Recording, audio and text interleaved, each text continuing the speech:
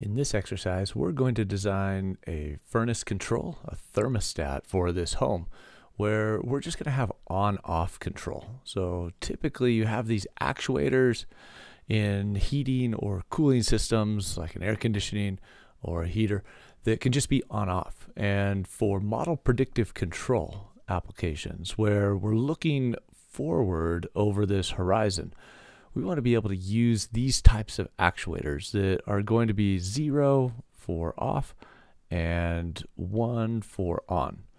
And so the way we program that in optimization or with model predictive control is to use these binary variables. Now, if you just want to program logic, so for example, in an actual thermostat, they don't run model predictive control. It's just some simple logic. If you get over this range, you turn off, and if you get under this range, you turn on. And it just keeps the, the temperature of the home within a certain dead band. Now, we're going to uh, create this application with model predictive control instead. So let's just consider a scenario where you have a home that is at 40 degrees Fahrenheit, that's about 4.4 degrees Celsius. And you want to heat that home up okay, to a comfortable range. Okay, so uninhabited during the winter, and then you come home, you want to be able to heat it up, and you want to be able to create this uh, predictive model of how fast this uh, temperature is going to rise when the heater is on. So the heater is going to turn on, and then at a certain point, it will turn off, okay, just to keep you within this range. And then if it gets too low, it will then turn on again. So let's go ahead and just review how to do this. We have this home, uh, this initial condition. Let's just say if you left the heater on indefinitely, it would get up to 100 degrees Fahrenheit. So therefore, we can have a gain. That's going to be our output over our input. That's going to be equal to 100 degrees Fahrenheit minus 40 degrees uh, Fahrenheit divided by 1 minus 0. And that's going to be equal to 60. All right, now maybe it takes about 120 minutes starting from that initial cold temperature to get up to that uh, range or 63% of 100 degrees. Then we'd say our time constant for this is 120 minutes. Okay, so we have that information. Um, we want to be able to simulate this for about two and a half hours to get within 70 degrees Fahrenheit to 68 degrees Fahrenheit. So 70 degrees Fahrenheit is about 21 degrees Celsius. Okay, so we have this target. So, um, you know, down to about 20, I'll put 20 degrees Celsius here.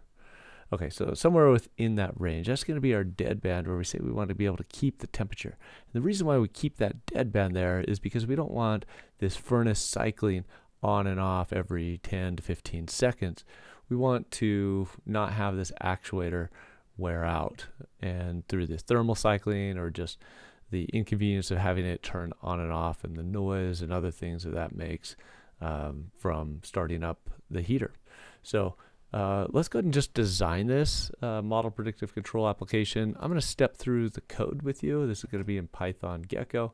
And what we want to do first of all is just from Gekko, we'll import Gekko. And you can just pip install Gekko if you don't have it. Okay, we'll get PyPlot as well, just to be able to visualize the solution. And then we're going to create our new Gekko model. Okay, use remote equals false if you want to solve it locally without an internet connection. Then we're going to create our time points. I'll create these as non-uniform time points up to this two and a half hour range. These are going to be in minutes here because our time constant is also going to be in minutes as well. So let's go out to, okay, there's one and a half at 90 minutes. And we're just going to go a few more. And I've just spaced these by uh, increments of 5. Okay, initially I have an increment of 1. So that's going to be the cycle time of our controller. Every one minute it's going to make a new decision whether it turns on or off. Now we're going to change some solver options. This is going to be using the APOpt solver. And I need to change some solver options just so it um, doesn't explore all the solutions. Mixed integer, nonlinear programming problems, or in this case, it's going to be a mixed integer linear programming problem. It can take a lot longer if you don't adjust some of these options. Um, and in particular, the gap tolerance is an important one. Also, you can look at the max iterations. I put that fairly high. I didn't want that to uh, to be the limitation. And we'll include a couple others here as well. So let's go ahead and do uh, max iterations with integer solution as well. I'll put that at 5,000. Okay, so here we have m.options.solver equals 1. That's the APOpt solver. We'll switch it to 6 for I mode. That's going to be model predictive control. Then we'll have some of our parameters. There's our KP is going to be 60. Okay, and then tau p is 120. And then our initial temperature is 40. And then we're going to create uh, the heater binary variable. Okay, and that is going to be an MV, an integer, and we're going to say it's true uh, between 0 and 1. So that creates an integer variable. We'll put a D cost on it, a delta cost. That's some move suppression so that it doesn't move it if it's within that deadband. And then we'll set its status equal to on. And then we'll have our controlled variable. This is going to be our temperature. And we'll set the initial condition equal to T0 and then set point high and set point low. We'll set our range for those. And then I'll turn our status on. And that will say to the optimizer we want to include it in the objective. Now, trajectory initialization, that's just a pure deadband. Now we'll put our first order equation. This is just based on the gain and the time constant. We'll have our tau times, and this is going to be our temperature, a derivative with respect to time. And then we subtract on the other side t minus t naught plus kp times u. That's the first order equation with a gain and a time constant. Then we'll solve the mixed integer linear programming problem, and then we'll plot the solution. Okay, so as this is uh, finishing, I'll just go ahead and run this, and we'll look at the solution.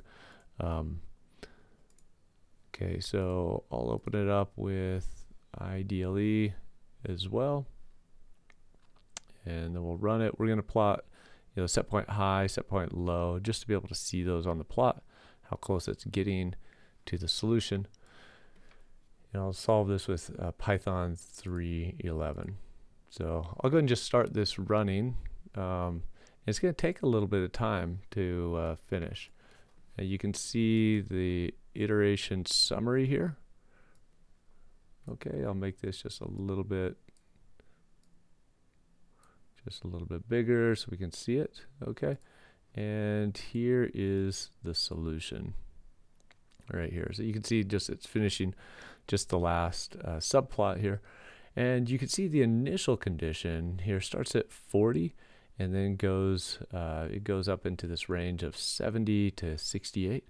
You can see that the actuator, the furnace on off is shown there and um, Okay, you can see that it arrived at a successful solution as well.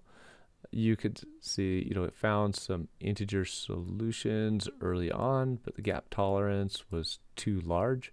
And it continued iterating until it found a gap tolerance, um, you know, with something within what we had specified.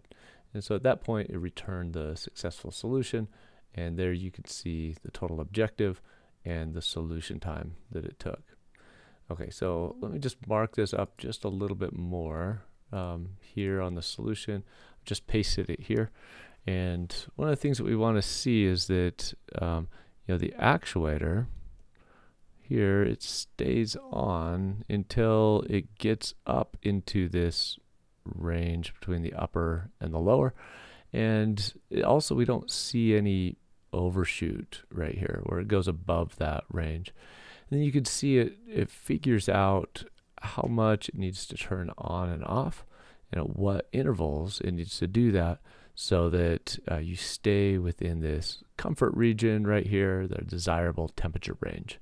Now, it could do something like where it chatters on and off much more frequently, and you could have much tighter control here within maybe to a specified temperature of 68, for example.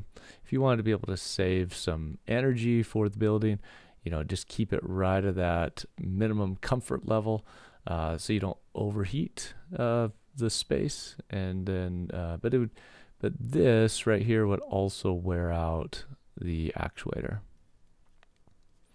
Okay, the thermal cycling, the blowers, other things turning on and off very frequently just to be able to maintain that lower temperature bound. So for that reason, we set this range right here as a type of move suppression. Now the other way that we saw was through that dcost parameter. That's another way to do move suppression, but on the manipulated variable. But this deadband, deadband is a method of move suppression. Okay, but you're using the controlled variable instead of the manipulated variable. Okay, so let me just go and show you the website where you can find the source code for this. So the web address is right here. I'll put that also in the description of the video. And there are also other benchmark problems that are available that are similar to this one for discrete variables. And I'll add a few more to this as well. So you can come down here and see a double tank control, Lotka Volterra fishing problem, and then here we have the furnace control link right here as well. Okay, I hope you've enjoyed this video. Love to hear your comments or observations about other mixed integer optimal control problems.